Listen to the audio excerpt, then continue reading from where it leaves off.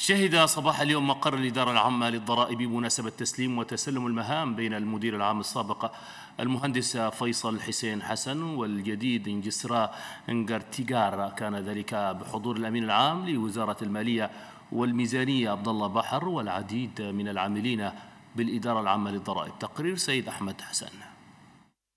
الاستمرارية وتداول المهام بين الأفراد في إدارة المؤسسات هما من أهم ركائز الإدارة. هذا ما جاء على لسان المدير العام السابق للإدارة العامة للضرائب فيصل حسين حسن أثناء تسليم مفاتيح الإدارة إلى خلفه إنجسران جرتيجار سنغار حيث شكر الطاقم الإداري وجميع العاملين بالإدارة العامة للضرائب.